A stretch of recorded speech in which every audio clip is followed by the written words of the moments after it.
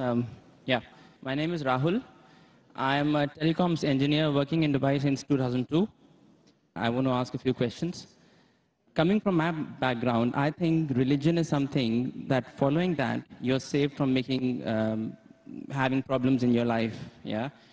Um, my first question is, I recently read a report by a doctor saying that because of marriages in first cousins in Islam, it leads to a higher probability of the fetuses being born uh, as handicaps. Yeah, it increases the probability of the babies born without hands or without legs. So if it was something that could potentially cause harm, it should not have been allowed in Islam. Another point to, I would like to add to the same question is, recently I suffered a little bit of a BP, and I went to the doctor, and the first thing he said to me is that stop eating red meat, which is again allowed in Islam. So I would uh, think that if these things could be harmful to the human body, these should not have been allowed by who has created us. So if you can clarify me on that. The brothers asked two questions. The first question that is talking about consanguineous marriages. Consanguineous marriages means marriage between close relatives. In English, it's called as consanguineous marriages. And in consanguineous marriages, medical science tells us today, there are high chances of genetic problems. And I do agree with the brother. Yes. So why does Islam permit that? Yes. It's clearly mentioned in the Quran in Surah Nisa, chapter number 4, verse number 22 to 24, the woman who you can marry and the woman who cannot marry is mentioned there. Amongst them, it's clearly mentioned you cannot marry your sister and a lady cannot marry the brother. It's mentioned. Neither the father, neither the mother. You cannot marry the brother of your father, the ladies, and you cannot marry the sister of your father. That means the important close relatives are mentioned in the Quran. Brother, sister cannot marry, son and mother, father and daughter, paternal uncle, maternal uncle can't marry. But as far as first cousins are concerned, Islam does give permission. Now, as far as consanguineous marriages are concerned, the maximum problem comes when you marry your direct blood brother and sister. Consanguineous marriage. Even if you marry your direct father, daughter, mother and son, or your uncle, the chances are also there if you marry your first cousin, but it's negligible, very negligible. So no, Islam... That's not, that's not what the report said. The report said that because of marriages in first cousins, not your brothers and sisters, it let leads me, to this problem. and it was from a let, doctor. Let it me was complete. published in Gulf News as well, actually. Brother, let me complete. Even I am a doctor. Ah, okay. Fine. Even I am a medical doctor. Yeah. It means medical doctor with that doctor. Yeah. The chances in direct relatives are very high. Yeah. If a sister and brother marry, the chances are very high. Yeah. If a father and daughter are very high. You have read only one report, you haven't read the other report. Yeah. So you only read Gulf News, I read medical books. So Gulf News is better or medical books is brother?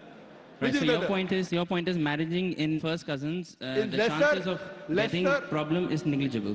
As compared to brother and sister. As compared to, Yes, as com- compared, compared to, yeah. compared But still, but still there is a. Brother, will you let me complete my answer or? Sorry, yeah, please.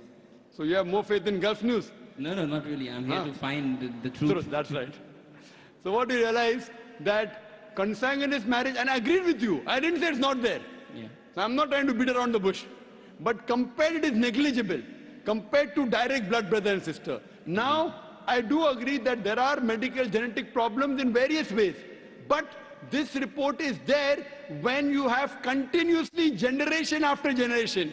And our beloved Prophet, that according to Dr. Ahmad Sakari says, the Prophet said, do not marry against first cousins generation after generation. Ah, if you do it once or twice, it is no problem. Yet, even if you marry not cousins also, you can get a problem. Do you know that? Yeah, yeah, that. Ah, so that doesn't mean that you stop marriage only. Right. So there is a hadith which says Yes. that do not do it generation after generation. Yes, but otherwise, generally there's no problem. Right. Fine? okay, okay. So coming to your second question. Yeah. You went to a doctor and you said you had high BP. Yes. Doctor said you have red meat. Yes. So why does Islam allow red meat? Yes. You know, my friend went to a doctor and doctor said you have diabetes, don't have sugar. Brother, why do you have sugar? Right. Why? Don't have sugar. My friend went to a doctor, doctor said you have diabetes, don't have sugar. Brother, do you have sugar? Yes, of course. Why you have to Stop having sugar. Yeah, well, we can live on vegetables, easily possible. Can We you live on without having sugar? Can you live without having sugar? Even vegetarians have sugar, brother. Yeah, Are you educated? yeah, yeah. MashaAllah. The problem is that person had a problem with his pancreas. Yeah. In the pancreas, there are islets of Langerhans which break down the sugar. Because my friend had a problem in the pancreas, he could not break down the sugar. Therefore, the doctor said, don't have sugar. Right. If you have some problem of red meat, you should not have red meat. Others can have red meat. Right. The Quran says, a gender statement Quran says, eat what is halal and tayyib for you. There's a verse in the Quran, eat what is halal and tayyib for you. For a person suffering from diabetes, sugar is not tayyib. So according to the Quran, a person having diabetes should have less sugar. It's a general statement. Eat what is halal and tayyib for you. That means certain things which is good for others may not be good for you. But there are certain things which are bad for everyone. Alcohol. Alcohol is bad for everyone. It is prohibited for everyone. Pork is bad for everyone. Therefore, pork has been prohibited for everyone. What do you realize? Certain food, because of the way your metabolism is made, because it's a problem for you, doesn't mean that everyone should abstain from it. Hope that answers the question. brother. Sure.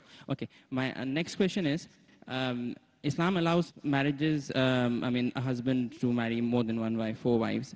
Is it um, compulsory to take the permission from the wife before marrying that second one? Because a lot of Muslim girls have told me that, you know, they have to take permission from the first wife, so our interests are taken care of. I hope you don't intend to become Muslim and marry more than one wife, huh? No, I don't. Because, because there's a new law in the Indian government. If a Hindu converts to Muslim and marries more than one wife, then there's a problem. yeah. There's a new No, law I, that's I passed. don't intend to, but I just need to find Don't out. about intend to marry or don't intend to convert. I, well, I won't answer that now. There was the question that is it compulsory that the husband should take the permission of his first wife before he marries the second wife? As a general rule, because it is mentioned in the Quran that a man can have more than one wife, it is not required for a man to take the permission of first wife, but it is preferably takes permission or at least informs her. okay. As far as permission, certain conditions become compulsory. During a nikah, during a marital contract, a man or a woman, before they get married, they can put any conditions which are permitted. If the woman puts a condition in the nikah nama that my husband will not take a second wife as long as I live, because marrying more than one wife is optional. So if she puts the condition, then it becomes compulsory for the husband to take the permission of the wife, otherwise he cannot marry. If this is not mentioned in the nikah nama, if it's not mentioned in the marital contract, it's not a must, it is preferable. Okay. Hope that answers